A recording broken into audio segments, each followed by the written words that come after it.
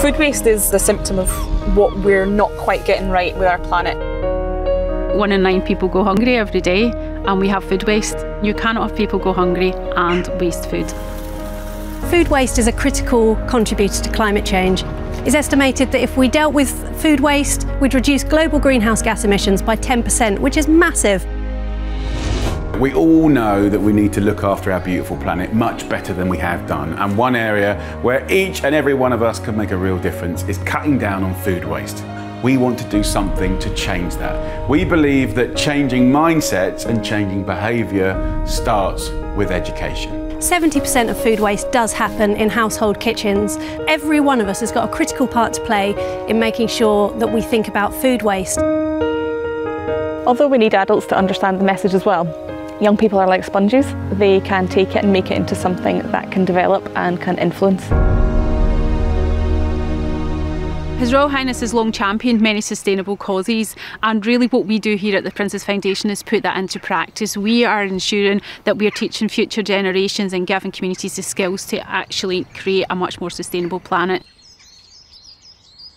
Education for us straddles a number of different areas and we're an interdisciplinary learning provider. So we look at the STEM subjects being embedded in food education.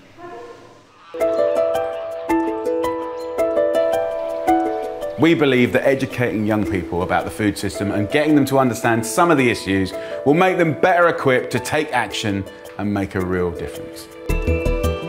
When we go shopping these days, the aisles in the supermarket are full of perfect produce, but when you grow it, that isn't the case.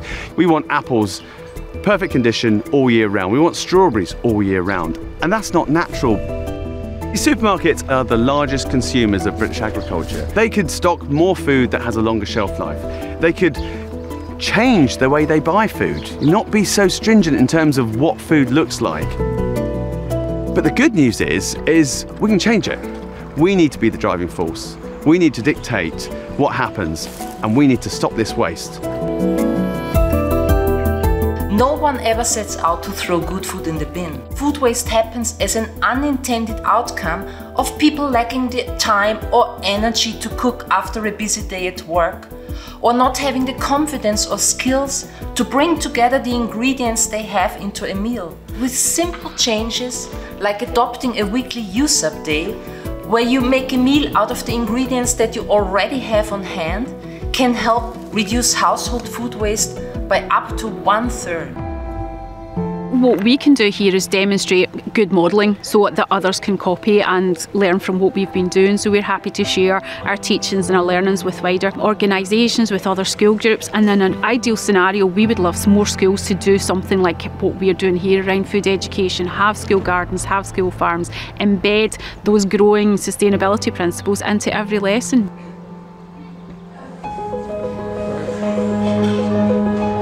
They now have a greater appreciation for food and its whereabouts and what actually happens to it. It's up to them now to pass this information on. 15,000 people take part in an experience that the Prince's Foundation delivers for education. Around food education alone, we have between 4 and 5,000 learners a year, most of whom are between age 5 and 14. And that's the age we want to reach to be able to make the most impact.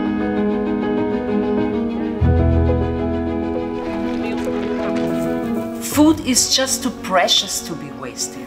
So let's help people to be more resourceful with the food so that we all can waste a lot less. It's so massively important to the future of the planet and not just engaging our young people, but as I say, entire communities, industry is so important to make that happen. Simple changes to the way we prepare our food can make a tangible difference. When cooks, caterers, teachers and pupils work together, they can create food environments that are healthy and reduce food waste. We can change it and it's going to be exciting doing that. And I think the fun thing is getting people involved, getting schools involved, getting children involved. We're gonna want to like start like our own garden and we have to start somewhere. Maybe not put like much in your plate is like you're not gonna eat. I'm going to try and not waste as much, especially if it was an animal. The Prince's Foundation is setting out to realise His Royal Highness's vision of creating communities that allow us to build a much more sustainable planet. Meaningful change cannot happen without education. And the Prince's Foundation is already doing some amazing work, but we cannot do this alone.